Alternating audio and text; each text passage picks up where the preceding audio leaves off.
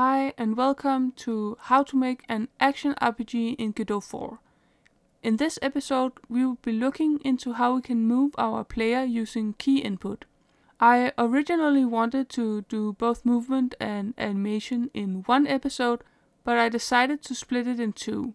I feel this will make each video more focused, but please let me know in the comments below what you think about this. Also, at the end of this episode, I will have a small addition to the last episode I make. Please make sure to check it out. And now let's get started. Okay, so before we make our player move, we have to create a world that it can actually move around in.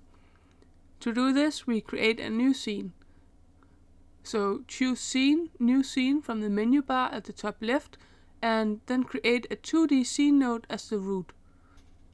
I am renaming the root node World, since this is the world our player will be moving around in. Okay, so now save the scene in a new folder.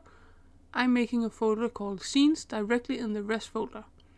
Now we want to add an instance of our player scene to our new world scene.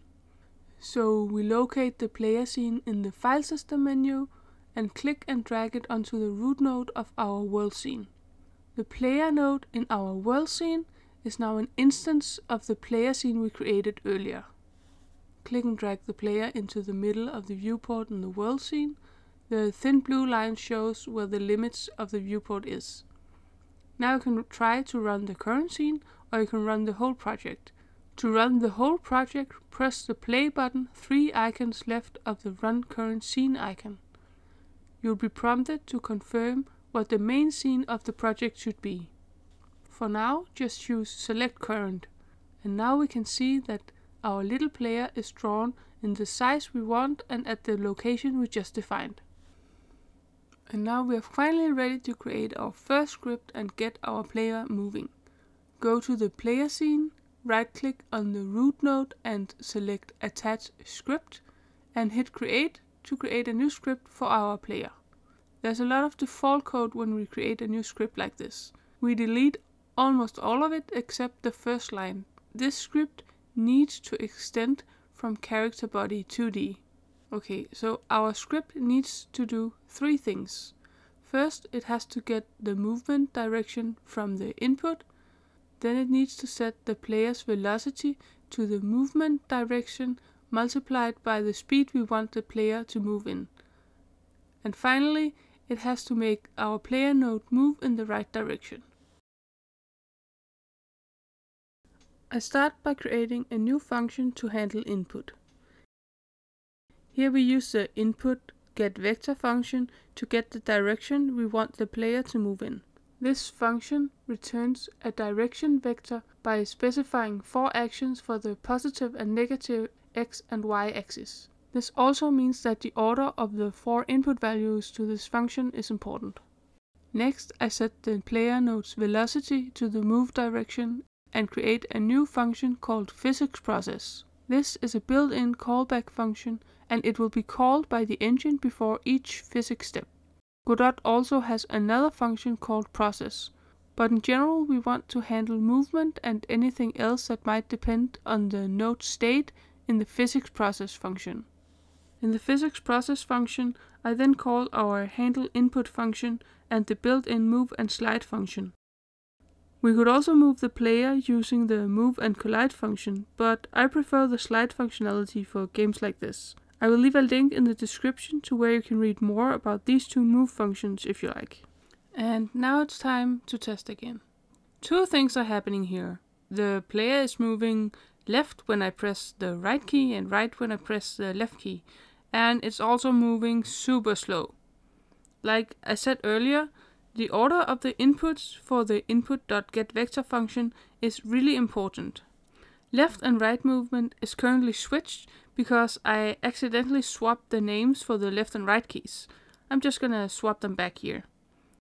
And next, we need to specify at what speed the player should be moving. So we make a speed variable at the top of the script. The export tag enables us to edit this variable not only from the script, but also from the player nodes inspector menu. The last thing we then need to do is multiply the move direction with the speed when we assign it to the velocity. When we test again, we can now see that the player is moving around just like we wanted to. Okay, so the last new thing I will be showing you in this episode is how we can change the key mapping for our game.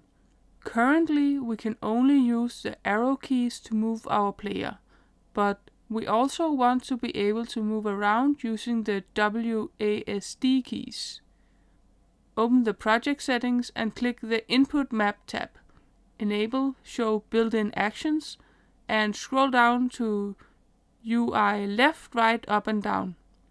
To bind a new key to an action, we click the plus sign to the right, press the key we want to bind and click OK. Do this for all the four direction actions we are using. And now we're able to use both the arrow keys and the WASD keys to move the player around. Before I finish this episode, I want to add a small update to the last episode I made. We initially set the texture filter on the root node of the player, but I got a comment to the video saying we should be able to set this on a project level in Godot 4. So I looked into it and this is how it's done. We go to the project settings, then we locate rendering, then textures, then we can set the default texture filter here. If we set it to nearest here, then all the nodes will by default use this filter. And that's how it's done. And that's all for now. In the next episode, we will look into how we can animate our player.